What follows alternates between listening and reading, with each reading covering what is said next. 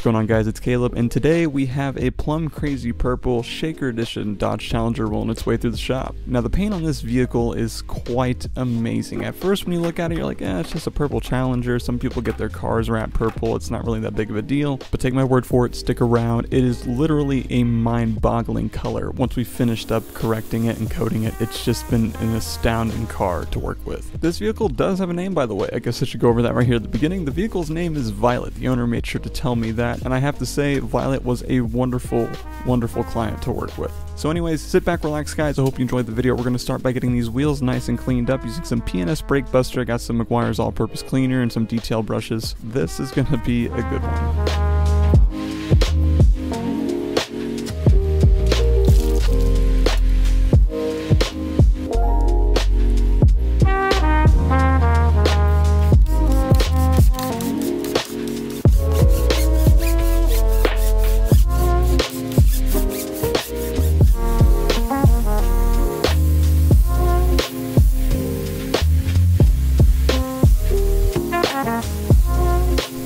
Usually I do a couple minutes in the video right at the beginning to get the wheels nice and clean, but with this car we're going to go ahead and move right into the engine bay. Now normally I don't really do engine bays all that often, but with this car I kind of got the all clear do whatever I wanted to it and I wanted to make sure the engine bay was clean. Plus I've done quite a few challengers in the past and I wanted to see what was different with the Shaker Edition versus the other challengers. Looks like this one has been set up to be a reliable, fun daily driver, has a 5.7 Hemi in it with an open intake as you guys can see. We're going to go ahead and cover that with a microfiber. I still like to go through and put a microfiber over the alternator just play it safe. Otherwise, I just foam the engine bay down with my pre-treatment foam and then go through with some brushes and make sure everything gets nice and cleaned up.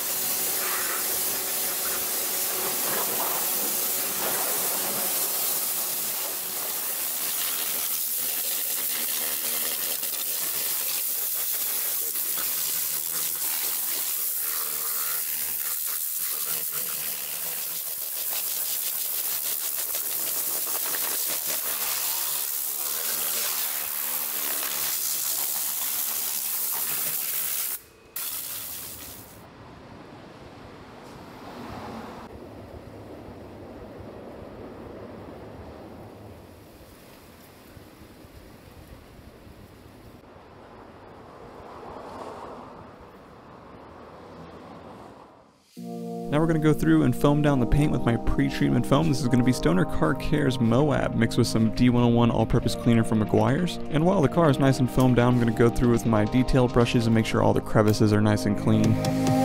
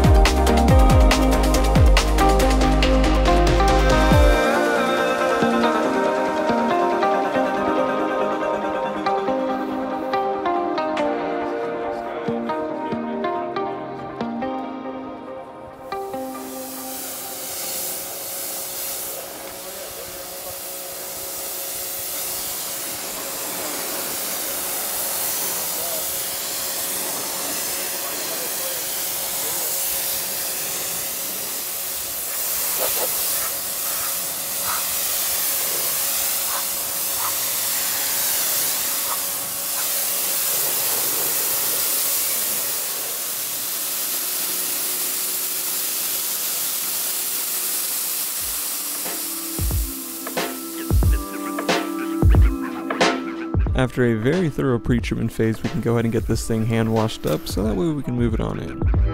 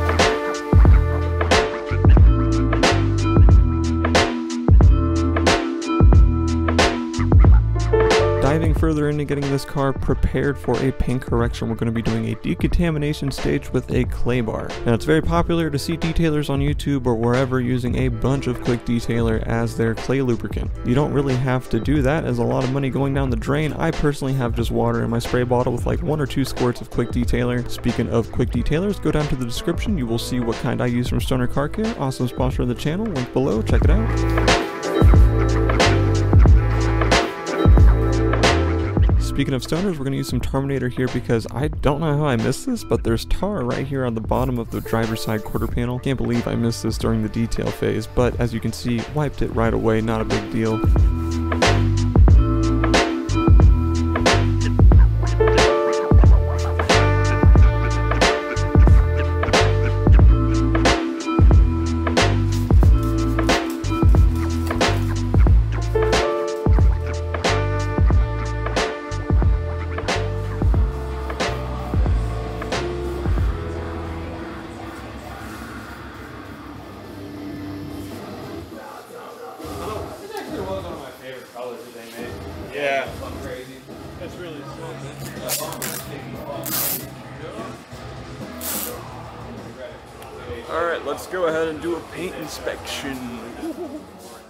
Through the paint inspection, it is clear that this car is going to be a totally different vehicle when we are done with it. There's a lot of damage here to clean up and to make really freaking nice, and I'm really excited for it. But the one thing I guess I should note just starting out the correction phase is that my auto white balance in the camera is going to be throwing a little bit of a fit. I'll explain more about that later because the reason for it's pretty cool, but what you guys are going to be seeing is a blue car, and then a purple car, and then heck, red car.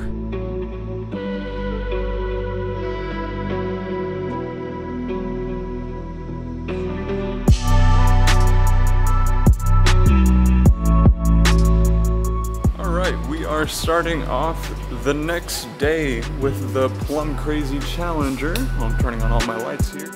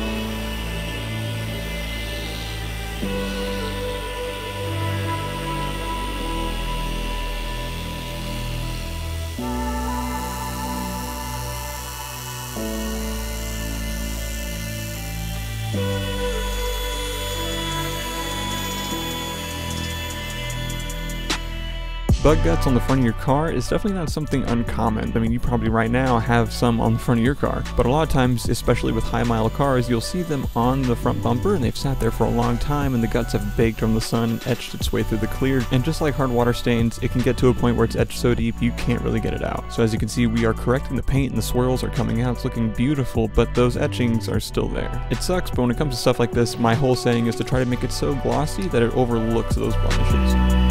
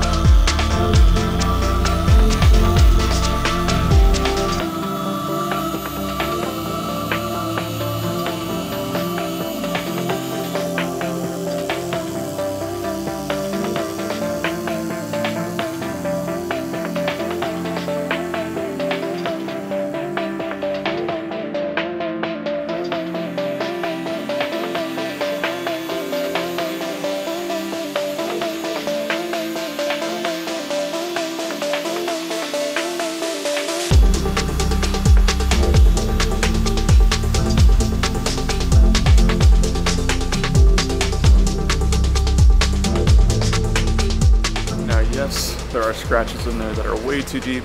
It's expected. It's the trunk area with over a hundred thousand plus miles on it. But that's a massive improvement. That looks like a totally different colored paint. As you guys have probably noticed, I'm using Meguiar's microfiber cutting pads for the cutting process. And after I get done with an area, I go over here to this bucket, take some compressed air, and I like to blow out the pads really well. This is probably going to be the best way to keep these kinds of pads really clean as you're going panel to panel.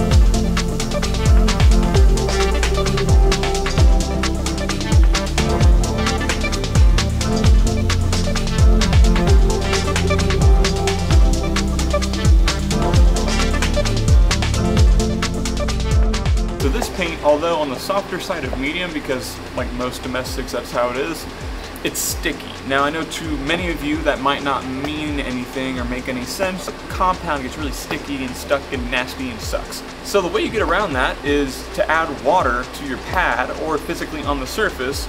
As you're polishing, yes, it can become quite messy if you use too much, but once you find that perfect mix, it comes off easily just like this. Now, with 99% of cars out there nowadays, you're really not going to run into this sort of thing. With this car, I only had issues with the front bumper and rear bumper, and I think that has to do with the paint being a different formula compared to the rest of the vehicle. Especially with body panels being more and more popular to use a fiberglass or plastic related material, it wouldn't be surprising to see the priming or paint process being a little bit different than, let's say, on a metal alloy door or something. I've ran into sticky paint with single stage paint cars, like Porsches for example. Single stage Porsches are notorious for having sticky paint, but it's not really too too much of a concern today. As it stands, we're done with the cutting process and we're going to move on to refining all of that cutting with a yellow Rupes foam pad and some Menzerna's super intensive polish. This is where it gets really good because once you refine all of that micro marring from cutting really deep, you're going to get a revived, glossy, vibrant looking car. It's nice.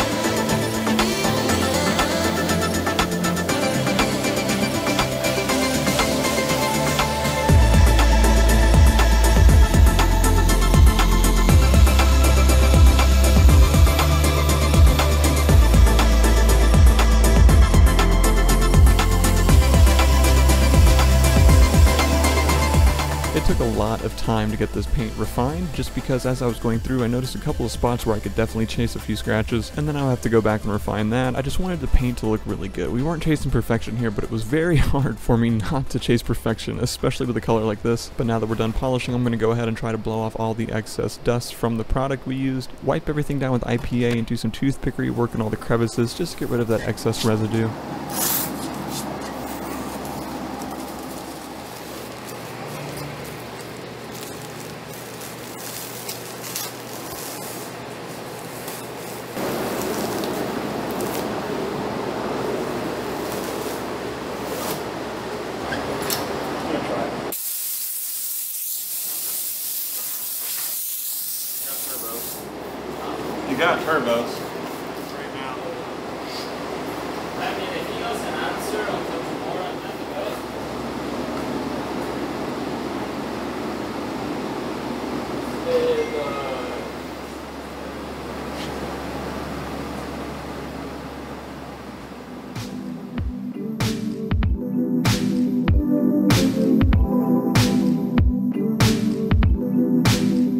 Coating the car, we're going to be using my favorite coating system, which is Gtechniq's Crystal Serum Light matched with EXO V4. It's very easy to apply, just put some in an applicator pad and then apply it to the paint nice and evenly. And then I have two different microfiber towels that I wipe away the product with, just to make sure there's nothing left over because you definitely don't want any high spots.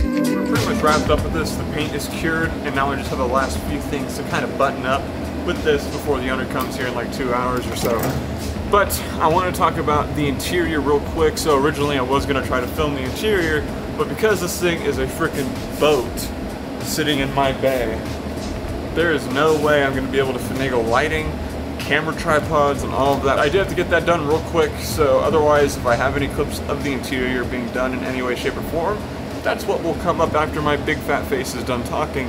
Otherwise, we're going to be putting on the tire dressing after treating them with Stoner Car Care's Terminate. Link in the description below. Awesome people. You sound like some dude who knows what he's doing with ads.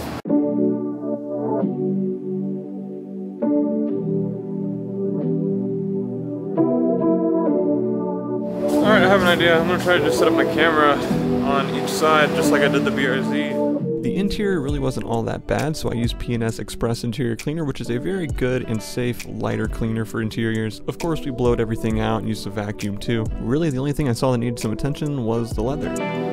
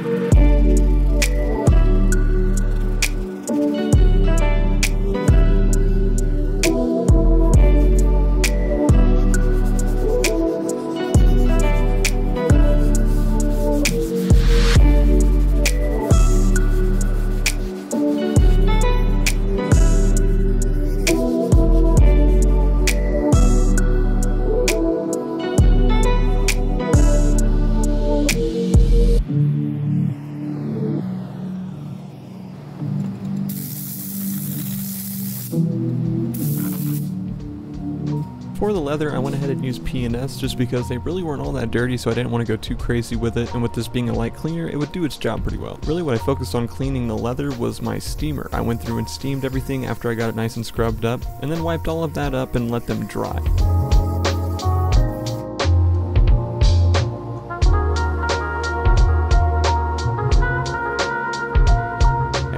After they when I came through with a new microfiber towel that's nice and clean, and it was dampened with just water. I went through every single piece of leather and wiped it down so that way just regular old water can sit on there and the leather has time to absorb all that. That's what's really going to give it that nice soft plush feel after it's been cleaned.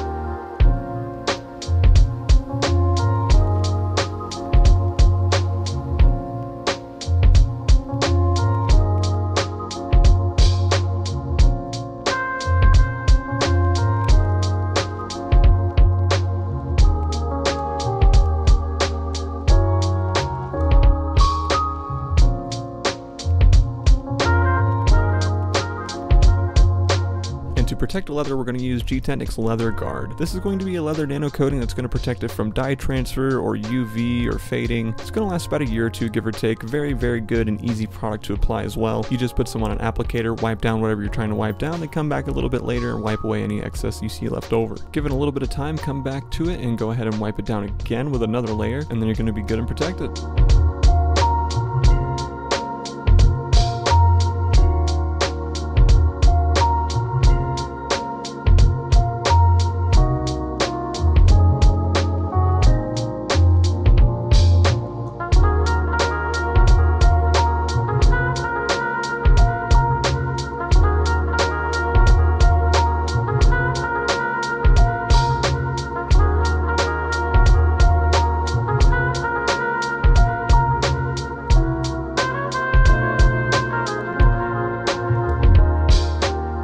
Protect all of the plastic interior as well as things like the dash and trim, we're going to be using Stoner Car Care ceramic trim shine. Think of it as paint. If you have like a ceramic spray or something, you wipe it down, it's going to bring back that gloss, it's going to make it nice and slick, UV protected. Essentially the same thing for the interior plastics. It's going to bring back the look and the life of it while keeping it UV protected.